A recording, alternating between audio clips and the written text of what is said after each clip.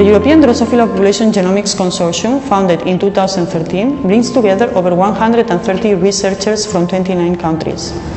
Our main objectives are to understand the spatial and temporal scale of evolution using genomic data from Drosophila species and also to foster collaborative research in Europe and beyond. We meet at least once a year and so far we have organized a summer school in adaptation genomics thanks to the funding of the European Society for Evolutionary Biology. We have collected natural populations continent-wide and across seasons for six consecutive years. The genomic dataset generated thanks to the collections of 2014 has already stimulated collaborative research and exchange of know-how within and beyond our consortium.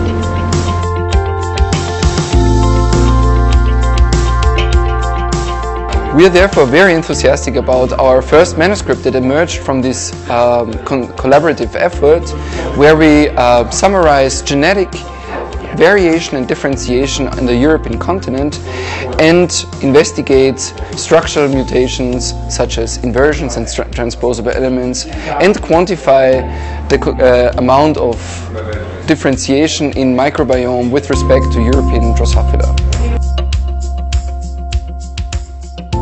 In the future, we are interested in expanding the scope of sampling both within Europe, but also extend it to other continents.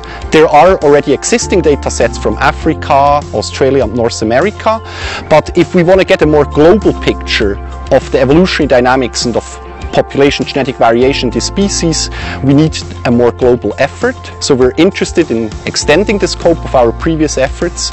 We're also interested in the future to characterize the samples we have obtained in Europe uh, uh using phenotyping and transcriptomics to understand patterns of phenotypic and uh, gene expression variation and also to perform functional tests of candidate genes that might be involved in climate adaptation.